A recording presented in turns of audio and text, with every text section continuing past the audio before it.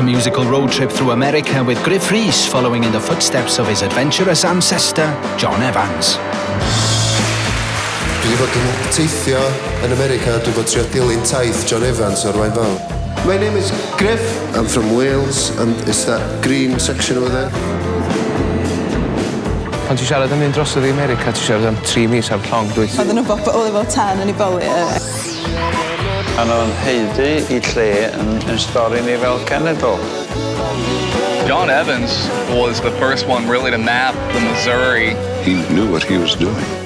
That was amazing. I've never seen anyone do that. Nobody wanted him to stop playing.